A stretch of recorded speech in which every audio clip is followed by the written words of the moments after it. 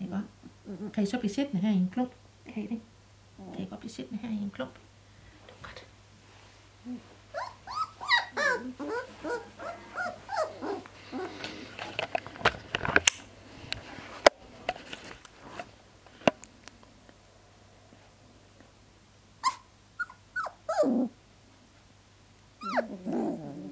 Og de kan simpelthen ikke se mig nu.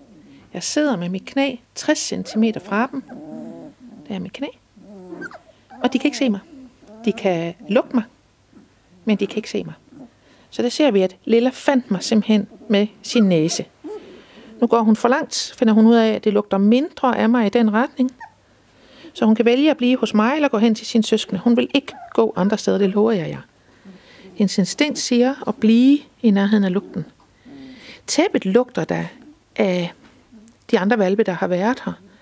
Men øh, gulvet uden for tæppet lugter ikke af noget. Og derfor så vil hun blive her. Ikke? Det er lidt koldt herinde også, hvis I sådan tænker, hvorfor ligger de i klump. Det er, det, det er sådan, at hvis de har det varmt, så ligger de spredt. Så de ligger altså ikke i klump, fordi at, eller i hvert fald ikke kun fordi det er fremmede omgivelser, at de måske er lidt usikre. De ligger først og fremmest i klump, fordi det er lidt koldt her. Tror også, det er den koldeste dag i år. Hvad siger du, Asbjørn? Er det den koldeste dag i år, vi har oplevet? Ja.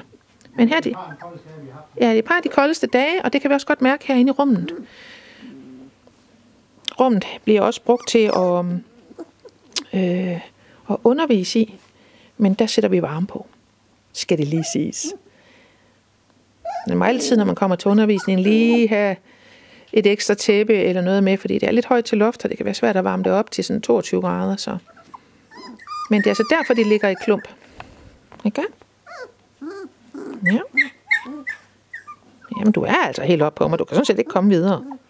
Nej.